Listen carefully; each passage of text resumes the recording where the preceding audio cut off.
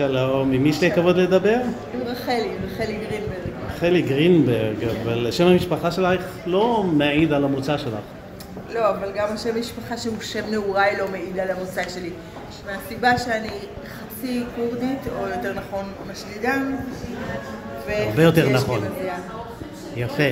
אז אם כך, אה, מה המוצא שלך בדיוק? מאיפה? העניין הזה בדיוק הוא קצת בעיה, אבל אני יכולה להגיד שסבא שלי, עובדיה בן ידידיה, עליו השלום, הוא בא מהעיר גבה, וסבתא שלי היא מהעיר אורמי, אה, והם נישאו בשידוך ועלו לארץ. והשידוך עלה יפה, היה נראה. יפה ברוך השם. תראו מה יצא. יצא שבעה אחים נהדרים. מה מה השפה שבה דיברתם בבית?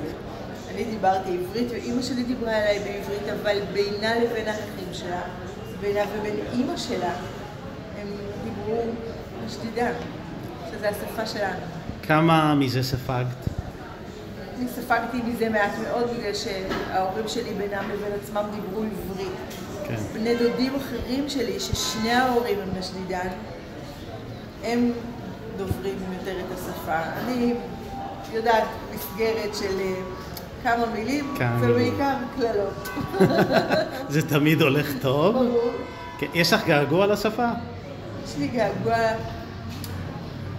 למתיקות של ימי שבת, שסבתא שלי הייתה מארחת בערך את חצי חולון על הגבעה. וואו. לזה אני מתגעגעת, למשפחתיות, לחום, לאהבה הזאת שהיא... בכל זאת, נדירה. משפט או שניים, אם את יכולה, או מילה, או ביטויים, לשתף אותנו בנשדידנית? מילים. יתו, אבואלה תחלת. אה, ידע לך, את הקללות אני מסרבת. את הקללות אנחנו לא נצטט. מסרבת. תודה רבה לך.